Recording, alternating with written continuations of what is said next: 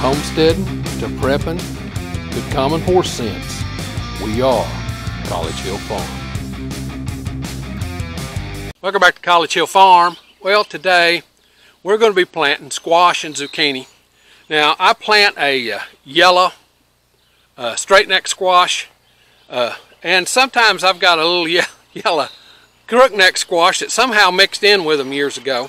But they're all mine, and uh, I've saved the seed for years and years and years. Uh, let's have a look at the seed. Now, the seed I've got this year, I think, was from 2018. So I didn't put any of that on the on the eBay store because the seed this year would be four years old. So next year I may put some seed on the eBay store. This is the year to save seed for summer squash and zucchini. So I use a yellow summer squash. I don't know the variety. Uh, I also use Black Beauty for the zucchini. So I know that variety. Uh, it's a it's an heirloom and that's what I use for zucchini. So what we're going to do today is we're going to plant in a way that we beat the squash vine borer. Now the squash vine borer is a terrible pest and he always wins. He always kills your squash. That's just the way it is. You got to get used to it. You got to understand that that's the way it's going to be. Now you could come out and spray every day, but you're going to kill the bees that are coming to your squash flowers to pollinate them. All right? Does that make sense? So I don't spray my squash. I plan to plant in succession.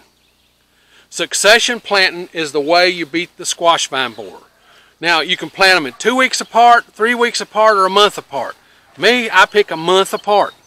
Now what I'll do is I'll plant three hills of the yellow summer squash and then two hills of zucchini because zucchini is a lot bigger plant and gives you a lot bigger, lot bigger uh, fruit. So I'll plant three hills of summer squash and three hills of zucchini, or two hills of zucchini. Then in the fall, or a month from now, this is the first week of, of June, a month from now, the first week of July, I'll plant three hills of summer squash and two hills of zucchini. That will keep us getting them. And then in August, I'll do the same thing. And maybe even in September. After September, they're not gonna, you're not gonna have any more. Now, Crystal and I used to freeze these. Uh, and use them in stir fry, and we still freeze some every now and then, but they're just not nearly as good frozen as they are fresh. And we have all kinds of other vegetables, so we don't worry too much about trying to do summer squash. We make them a pleasure of the summer. So we tried drying them too, and it just, it sucked. So there's that. It just sucked. All right, let's get down through here and plant some squash. For summer squash, we do it just like we do cucumbers, except knowing that summer squash is not going to spread. We can plant it about four feet apart, three to four feet apart. And we start like this. We just pull up a dirt hill.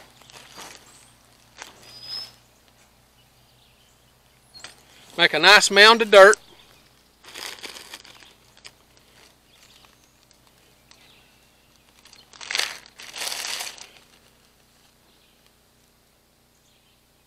And I'll drop four or five squash uh, seeds there.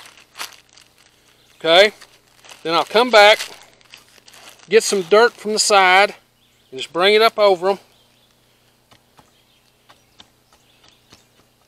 And firm it down around them. Now these will come up when it rains. It's supposed to rain tomorrow or the next day. I don't worry about watering. Okay, if you, I try and plant before it's going to rain. That helps a lot.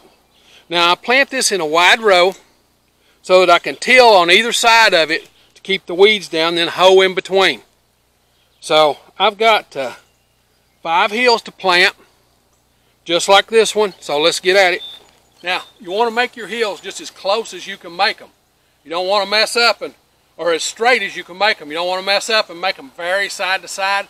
That makes you more hoeing. So keep them good and straight in the row and it'll make life so much simpler. Now four feet apart, at four feet apart, uh, the row is going to fill with uh, squash vines, okay? They'll spread two feet out from their center. So it'll, it'll spread. So let's go and get these put in the ground.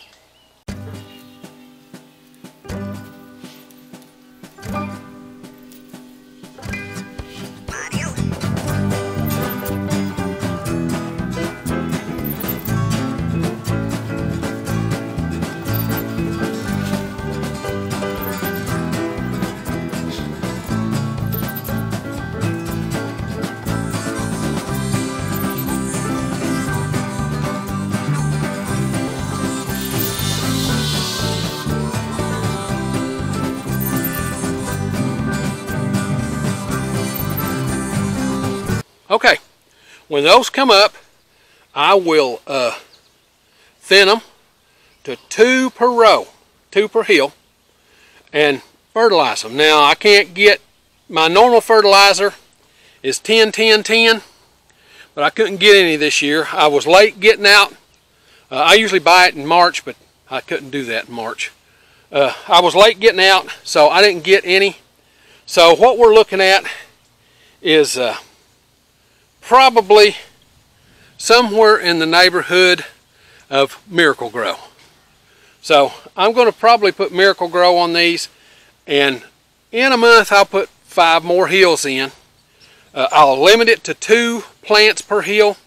When they come up, you know, I'll put plenty of seeds down. I've got plenty. I'll limit it to two plants per hill and then uh, I'll go from there. Now, Crystal and I, we just eat it fresh.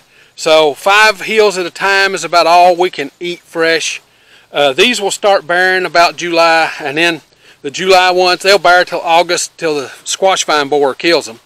And then the uh, the next set, which I plant the first week of July, will be bearing in August and they'll bear till September.